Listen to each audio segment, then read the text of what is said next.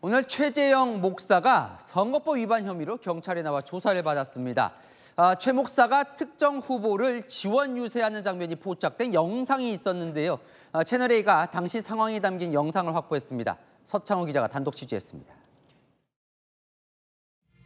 22대 국회의원 선거 유세가 한창인 지난 4월 경기 양평군 용문시장 앞 유세 차량 옆으로 검은색 양복을 입은 최재형 목사가 보입니다. 후보 측 관계자와 얘기를 나누던 최 목사는 사회자 소개로 유세 차량에 올라 마이크를 잡았습니다. 김건희 일가의 국토 유린 다이아몬드 형태로 국토를 유린했더라고요. 최 후보를 지지하는 취지의 발언도 합니다.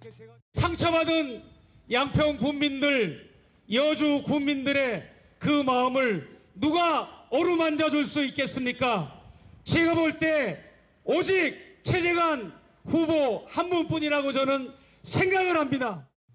최 목사의 발언은 6분 가까이 이어졌습니다.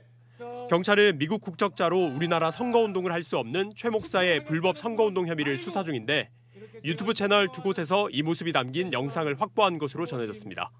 경찰은 오늘 최 목사를 불러 6시간 반 동안 조사를 벌였습니다. 최 목사 측은 지나가던 길에 우발적으로 계획 없이 했다고 진술한 것으로 전해졌습니다. 여주와 양평에서 더불어민주당 후보의 유세 차량에 올라가서 단 몇 분, 몇 마디 지원 유세 연설한 거는 집요하게 이렇게 고발을 하고 경찰은 확보한 영상 등을 분석해 최 목사 진술의 진위 여부를 따져볼 계획입니다. 채널A 뉴스 서창우입니다.